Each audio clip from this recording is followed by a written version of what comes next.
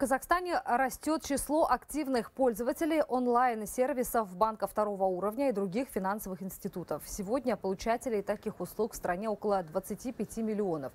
Это является абсолютным рекордом за последние годы, отмечают в компании Similar По данным сервиса, по сравнению с аналогичным периодом 2023 количество пользователей мобильного и онлайн-банкинга увеличилось на 12,4%.